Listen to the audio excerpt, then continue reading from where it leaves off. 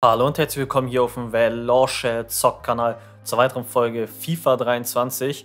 Und ja Leute, wir sind hier auf jeden Fall mit Pogo und Stettin in der zweiten Folge. Nur für die, die vielleicht neu mit dabei sind, nicht wundern, denn noch habe ich keine Transfervorschläge von euch mit dabei, weil ich muss ja immer vorproduzieren. Ne?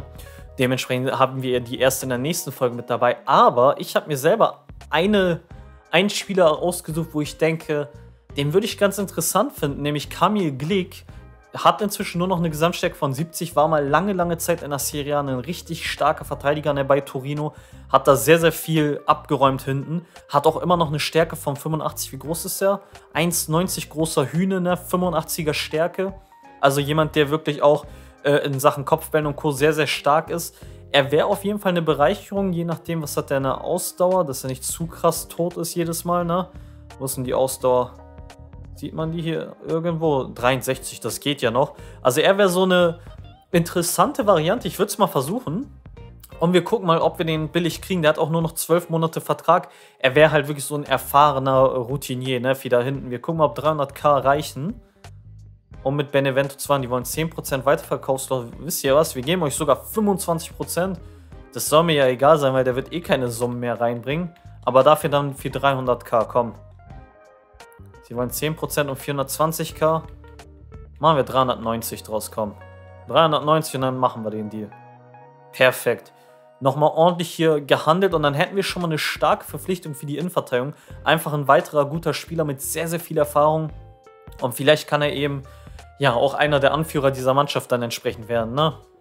Ist ja immer ganz schön, wenn dann, sage ich mal, auch größere Namen zurück in die Heimat gehen. Und Kamil Glick ist natürlich ein super Mann. Äh, wir gehen mal einen Einjahresvertrag auf jeden Fall. Ne? Dann kann man von Jahr zu Jahr gucken. Er will 4000er Gehalt. Okay, aber dann machen wir mal so, ne? 10,5 akzeptiere ich jetzt mal. Ich weiß gar nicht, ob er damit sogar Topverdiener ist mit 4,9. Das müssen wir dann gleich mal gucken. Aber dann hätten wir auf jeden Fall den ersten Deal mal gemacht, ne? Hier mit Kamil Glick. Ich bin gespannt, was ihr dazu sagt. Und dann bin ich natürlich auch noch gespannt, was ihr einerseits für Vorschläge macht, andererseits auch, was die Scouts uns so suchen. Ne? Die benutze ich ja in FIFA so gut wie nie. Aber dadurch, dass wir jetzt echt in einer kleineren Liga sind, dann müssen wir natürlich auch gucken, ne?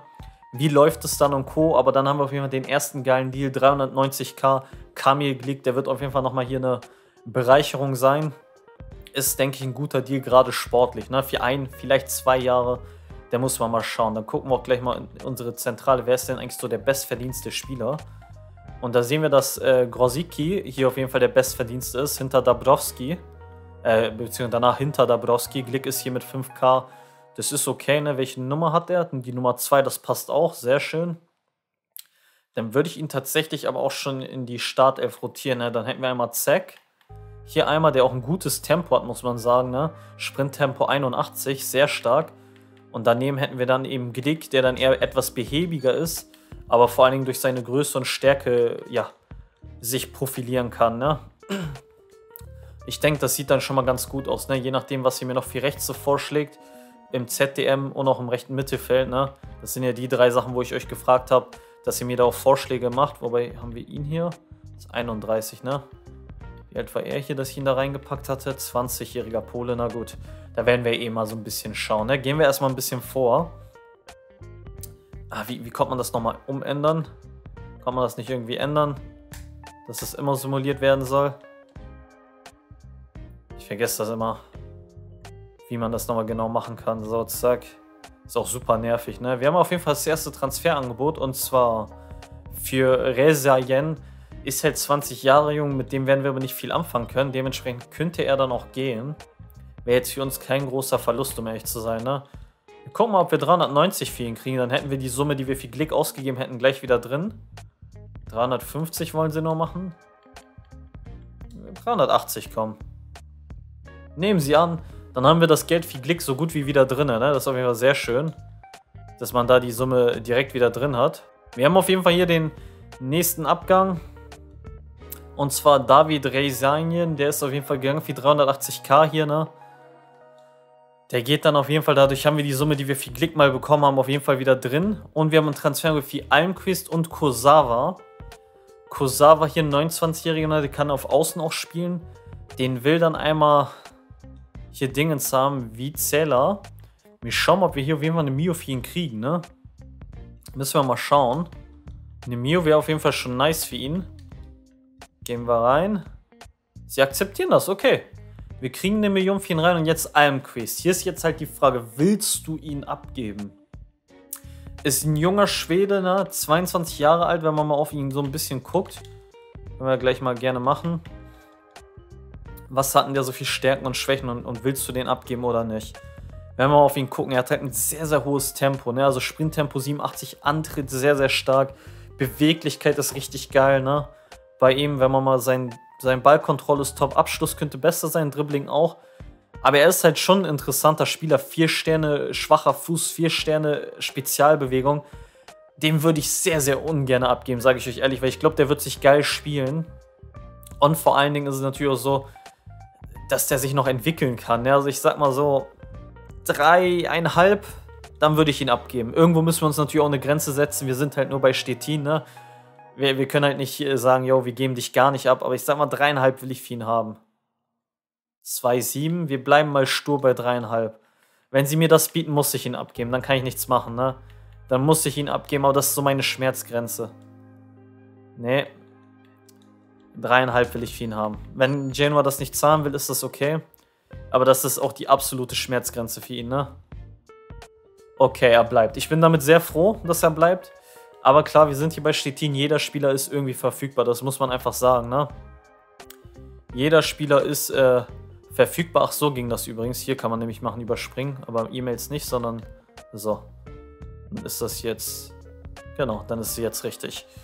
Gehen wir weiter vor, wir gucken mal, ob wir noch weitere interessante Angebote kriegen. Kurschawa müsste das hier sein, ne, der jetzt geht, ja. Das heißt, für eine Million zu Vizela. Wir kriegen auf jeden Fall ein bisschen Geld rein, das ist nicht, das ist nicht schlecht, ne? Dass wir da ein bisschen Kohle reinkriegen. Ganz im Gegenteil. Und Transferangebot für den Unaussprechlichen von Twente Enschede. Werden wir auch mal versuchen, den Mio rauszukriegen. Ne? Dadurch, dass wir Glück gehabt haben, wäre auch sein Abgang nicht schlecht. Dann hätten wir echt ein bisschen Kohle, um dann auch entsprechend zu agieren. Wir machen mal etwas mehr als eine Mio. Wollen sie nicht zahlen? Aber eine Million sollte eigentlich schon für ihn drin sein, ne? Weiterverkaufsklausel geben sie uns. Macht die mal weg, dann machen wir wenigstens 950k, komm. 950k, dann können wir damit leben. Okay. Sie haben hart verhandelt, Twente, aber am Ende wie Konstantinos Triantierpopoulos bieten sie uns fast eine Mio. Am Ende ist er ja auch schon Ende, 9, äh, Ende 20, ne? Und wir haben hier halt Zack, wir haben Glick. Dann haben wir immer noch Malek, ne? Also das ist überhaupt kein Problem. Hier Lonka haben wir auch noch. Sehe ich als überhaupt kein Problem dann an, ihn abzugeben. Da sind wir immer noch super aufgestellt, ne? Und ich gucke jetzt mal, was die Scouts so gemacht haben, ne? Und zwar, ähm, genau, einmal in Polen selber. Da haben wir Al-Ravi, aber der ist äh, freier Spieler, okay. Könnte man sich natürlich mal angucken. Warum nicht? Dann haben wir einmal Jansik. Werden wir auch mal scouten. Äh, nochmal Salman, auch nochmal ein freier Spieler. Na gut, Lukaschk und Querquerskiri. Äh, werden wir mal erstmal lassen. In Südkorea haben wir Kim Tae-wan. Den scout ich auch mal. Sein Vertrag läuft vor allen Dingen aus. Dann haben wir Rui äh, Jae-moon. Werden wir auch einfach mal scouten hier jetzt, ne? Dann haben wir Park Jong-woo und Yong Jae-yong. Der hier hat auch eine extrem krasse Sprungkraft gehabt, ne? Sieht interessant aus, aber ein Ticken zu alt vielleicht schon, ne? Wir gucken mal hier. Und dann haben wir in Rumänien leider noch nichts gefunden. Okay. Aber es ist mal interessant, auch ganz, ganz andere Spieler sich anzugucken. Ne? Deswegen ist diese Karriere ja auch mal was anderes. Und wir haben den nächsten Abgang.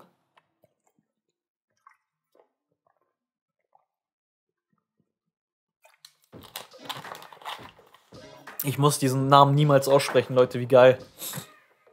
Ihr werdet mich nie wieder diesen Namen hören, ey. Konstantinos Bye Bye. Wir haben den bestmöglichen Deal sogar rausgeholt.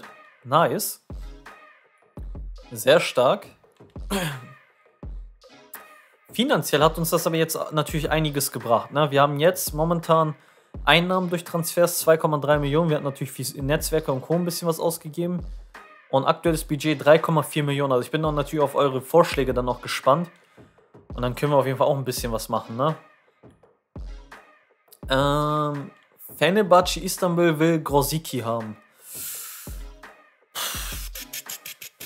Ja, er ist halt 34, ne? Also ihn abzugeben wäre ich jetzt nicht abgeneigt. Er wird auf jeden Fall nicht besser in diesem Jahr noch, ne? Und wenn wir für ihn nochmal 2 Millionen kriegen? Klar ist das sportlich, ist das schade. Aber wir kriegen 2 Millionen für ihn. Das ist für ein Team wie Stettin natürlich viel Geld. Für einen 34-Jährigen. Also dann brauche ich auf jeden Fall auch einen Vorschlag für links, Leute. Wir gucken mal. Aus Korea weg und dann nochmal Victoria will hier Gorgon haben. Auch er ist halt 33, ne? Also auch bei ihm wäre dieser Verkauf erstmal nicht schlimm, ne? Ich sag mal so 650k und dann gucken wir mal. 520, ne? Gehen wir auf 610. Okay, dann nicht. Dann nicht. Dann bleibt er erstmal, ne? Ja, für Grosicki müssen wir dann halt nur gucken, ne? Da brauchen wir dann auch einen guten Ersatz. Haben wir hier vielleicht von der Bank schon jemanden? Äh, Kowalczyk könnte theoretisch auch auf links spielen. Sonst hätten wir noch ihn hier, ne? Der könnte beide spielen. Der ist gerade auch mal 19, ne? Ich sag mal so. Von, äh, ihn hier dann von links zu bringen, wäre auch nicht schlimm. Na, dann hätten wir momentan mit Stipika, dann Glick, Walquist. Interessant auch, dass wir ein paar Schweden immer drin haben, ne? Sek, Kurtris, Legowski, Dabrowski, Vedrijowski, Kowalczyk, Fornalczyk und Almquist. Könnte man machen. Theoretisch könnte man sogar überlegen, ob man Almquist fast schon zu einem LM umpositioniert, ne? weil er gar keinen guten Abschluss hat. Und dann Almquist eventuell sogar von links bringt, aber da muss man halt auch mal schauen. Ich schau mal grundsätzlich. Teamzentrale. Almquist, ne, der kann sogar auf Außen spielen, wie es scheint, ne? Ob er da sogar besser aufgehoben ist. Wobei wir da auch vier Wochen brauchen, ne? Na, ich lasse ihn erstmal in der Sturmspitze, weil wir vorne noch nicht viel haben, ne? Ist aber eine Option, muss man sagen. Ist eine Option, aber was ich auch nochmal gucken will, das wäre auch nochmal interessant. Vielleicht gibt es ja auch den ein oder anderen jungen polnischen Spieler irgendwo, den man leihen kann, ne? Wo man vielleicht bei einem größeren Verein mal sagen kann, yo, leiht uns mal den ein oder anderen interessanten Spieler, wir gucken mal. Erstmal in der Premier League. Kivior zum Beispiel und dann gibt es hier den Keeper. Kivior könnte man natürlich probieren im Verein seit 2023, wobei sein Gehalt könnte natürlich sehr hoch sein, gerade bei Arsenal. Aber wir, wir, gucken mal so ein bisschen rum, wo könnte man jemanden leihen, ne? Poreba, Rakoschki. Na, wir, wir, schauen einfach mal. Bundesliga bestimmt auch den einen oder anderen. Kaminski zum Beispiel. Kaminski wäre der perfekte Ersatz eigentlich für Greuschki, ne? Oder Grositki. Hat leider kein Interesse, ihn auszuleihen. Sch eigentlich schade, sage ich euch ehrlich. Ja, mal gucken, bis 24 Jahre ist ja immer noch relativ jung, ne? Da würde es Gummi geben. Ah, den werden sie mir, glaube ich, nicht leihen. Eredivisie. Koslowski und Biatek. Wir gucken mal ein bisschen rum. In Italien, da gibt es ja immer einige Polen auch, ne? Äh, Zalewski zum Beispiel wäre auch jemand, den würde ich mir gerne ausleihen. Wäre das möglich? Ey, sie wollen ihn nicht leihen. Das ist doch eigentlich... Hm, keine Ahnung. Wüsste jetzt nicht, warum sie ihn nicht leihen sollten, ne? Serie B vielleicht auch nochmal. Äh, Kubica hatten wir ja schon mal in einer anderen Karriere, ne? Glaube nicht, äh, das wird halt nicht möglich sein, ihn leider zu leihen, ne? Trotzdem interessanter Mann an sich, ne? Wir werden ihn mal beobachten. Von der Serie B wäre das ja gar nicht mal so unrealistisch, ihn zu holen. Kubica, wo hatten wir den nochmal? Irgendwo in irgendeiner Karriere hatten wir den auch geholt. Wir gucken mal in Portugal, okay, ist nicht so viel los. Sonst gucken wir nochmal in der La Liga. Gar kein Pole, der jung ist, okay. Interessant. Äh, sonst gucken wir nochmal in der Bundesliga, als auch nochmal in der zweiten Liga und Co. nochmal, ne? Aber auch hier Simanski, wenn man mal schaut. Der kann auch links spielen. Hier wäre eine Leih auch nicht möglich. Dann versuchen wir jetzt mal Kivior. Vielleicht kann man ihn leihen. Auch nicht.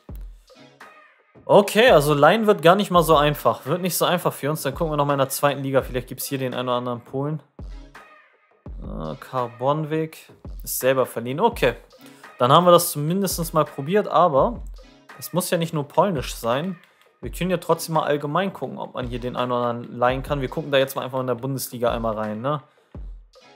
Schauen mal zum Beispiel nach einem linken Mittelfeldspieler vor allen Dingen. Ne? Da kann man ja mal schauen, Gibt es hier den einen oder anderen interessanten Spieler, wo man sagt, der, der wäre eine Live vielleicht ganz interessant? Äh, oder in der zweiten Liga vielleicht? Wir gucken mal nach England. Wir gehen mal nach England, wir schauen mal. Gibt es hier nicht das eine oder andere interessante Talent, was sie, wo sie sagen, jo, den wollen wir leihen, aber gar nicht mal so viele Leute mit dabei. Gehen wir noch nach Frankreich, sonst gehen wir gleich allgemein weiter. Ne? Ucic. Eigentlich ein super interessanter Spieler ne, in der Realität. Kann man leider auch nicht, auch nicht leihen. Hm. Maker. Na, wird gar nicht mal so einfach. Gehen wir erstmal so vor, ne? Mal gucken, was ihr so viele Vorschläge habt. Und wir gucken auch mal gleich nochmal bei den Scouts rein. In der nächsten Folge werden wir auf jeden Fall das Spiel gegen Krakowia schon mal machen, ne? Ja, auf jeden Fall einige Abschlussberichte, das ist schon mal nice. Gehen wir nochmal vor. Und da sehen wir den nächsten Abgang. Der nächste Abgang jetzt hier, der geht, wer war das? Ah, das war Kamil Grosicki, äh, Grosicki ne? Für 2 Millionen, das ist natürlich auch Kohle für uns, ne? muss man einfach sagen. Das ist sehr, sehr viel Kohle. Einfach mal für einen 34-Jährigen oder 33-Jährigen so viel Geld zu kriegen. Das ist schon sehr, sehr viel Geld, was wir hier bekommen haben. Wir können natürlich gerne auch nochmal hier bei den Scouting-Berichten gucken. Hier gibt es natürlich nochmal aus Rumänien interessante Spieler. Mal näher gucken wir uns mal an. Ein Alexandro Pantea, sehr, sehr junger Spieler, 18 Jahre jung, 12 Monate nur noch Vertrag. Das könnte natürlich höchst interessant werden. Gerade Pantea, der könnte richtig, richtig interessant werden, ne? In Rumänien allgemein, was wurde hier noch so gefunden? Durate, Negru, äh, dann ihn hier nochmal. Und Samuel Asamoah auch nochmal. Läuft auch in zwölf Monaten aus. Gucken wir uns mal an. In Südkorea hatten wir schon alles einmal gescoutet gehabt, ne? Und in Polen selber ist auch nichts Neues dazu gekommen. Okay.